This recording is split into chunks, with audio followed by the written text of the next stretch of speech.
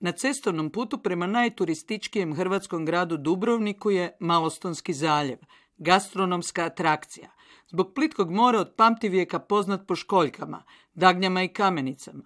Cvjetko Matković jedan je od rijetkih koji kamenice i danas uzgaja na klasičan način. Ovo se hvata mlađ na ovu. I ovako na ovom oni rastu. Otkako je Hrvatska ušla u Europsku uniju, ovdašnji školjkari muku muče s prijevozom svojih školjki. I to sve zbog šest kilometara teritorija koji moraju proći, a koji pripada drugoj državi, Bosni i Hercegovini. Da bi prodali školjke u zapadnim ili sjevernim dijelovima Hrvatske, one moraju izaći i ponovno ući u Europsku uniju, uz naravno sve carinske procedure. Ako prolazimo kroz ove naše carinske prolaze, onda se roba kontrolira kao da je e, negdje iz druge zemlje, a ne iz Hrvatske. Tu se u ljetnom vremenu stvaraju velike gužve jer je jedan prolaz pa, pa je on e, i u isto vrijeme i za prazna vozila koja idu i za ona puna. Pa se mora čekati. Još je veći problem prevesti školjke za daljnji uzgoj. Prijevoz živih školjaka tretira se kao prijevoz stoke bez obzira na to što će završiti u istoj državi. Za Cvjetka Matkovića to je ipak previše. Zato on obilazi granicu. Ja sam moram napraviti napravi 65 km do Trpnje i plus plati trajekt. A ovdje sam za, za, za pola sata u ploču. Stvara velike probleme. Granicu je moguće izbjeći jedino morskim putem, trajektom, a trajekti su skupi i voze dva ili tri puta dnevno. Zato građani juga Hrvatske već godinama sanjaju o mostu koji bi povezao dvije Hrvatske. Prije više godina započela je gradnja, ali se odmah stalo.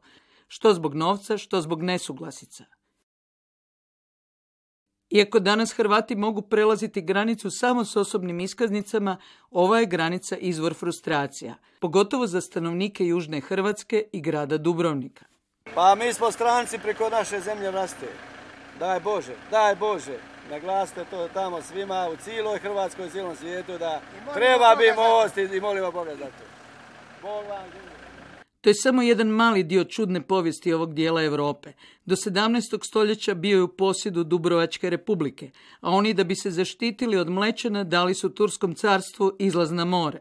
Za uzvrat dobili su pouzdanog saveznika i kopnenu zaštitu. Četiri stoljeća poslije prednost je postala kopnena prepreka. Mnogi turisti i ne znaju da na putu od Splita prema Dubrovniku moraju prijeći granicu. Nisu to znali ni ovi Australci. We didn't realize there was a border.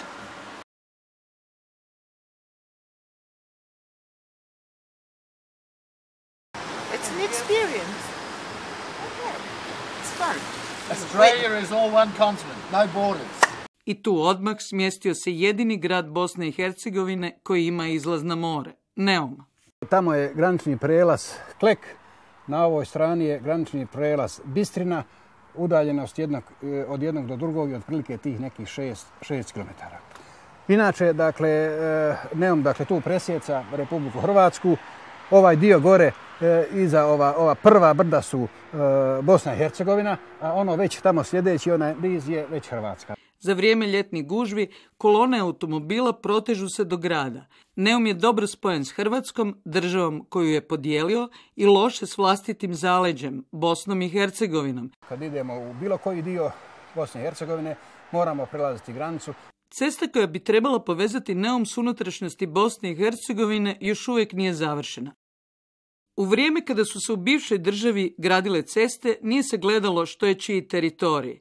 Tako je Neum spojen s Bosnom i Hercegovinom preko Hrvatske i grada Metkovića, a za stanovnike Metkovića put do Dubrovnika vodi preko Neuma i Bosne i Hercegovine. Metković je pogranični grad. Svi koji stanuju u radijusu 5 km od granice mogu koristiti i malogranične prelaze. Eto govore da mi je dovoljno Hrvatska, tamo na vrata samo Hercegovina. Lijeva strana ulice je Hrvatska, desna Bosna i Hercegovina. Evo tu živim 100 metara do Di? U Hrvatskoj, lijepoj našoj Hrvatskoj. Mesnica.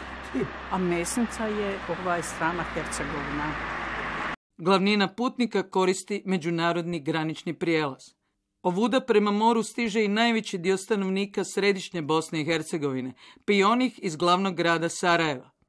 Žarko Spahić državljanin je Bosne i Hercegovine, stanovnik Čapljene, grada na samo desetak kilometara od Metkovića. I on ima isti problem, granicu i kako je prijeći. Mogli smo prijeći na tri prelaze. E sad, poslije ulaska Europske unije u Hrvatske, mi samo možemo sa biometrijskim pasošom možemo preći ovaj, na glavni prelaz na Doljani.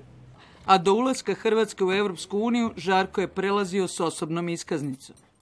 Pa sad smo podijeljeni totalno, što kažu, i granicom, i prelazom, i svim i svačim. Tako. I sad je narod na mukama. Ovo se zovu muke. Pa čeka se, u ljetnoj sezoni se čeka od sat do dva, zavisi. Nekad i tri sat. To je zavrzlama taka da to se ne može čovjek snaći.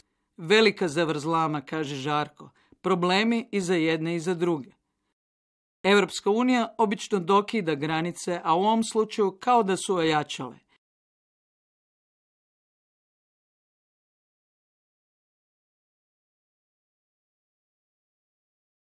Na zapuštenom gradilištu mosta preko Pelješca rokeri iz Dubrovnika grade zvučni most. Njihov koncert simbolički je povezao dva dijela Hrvatske. Čujete li nas, dakle cilj nam je da nas čuju i s one strane, a i postavljamo pitanje čuju li nas uopće. Hrvatska traži izlaz. Studija izvodljivosti francuskog konzultanta pokazuje da je most najbolje rješenje. Hrvatska vlada traži modele sufinanciranja s Europskom unijom, a i do toga je još dalek put.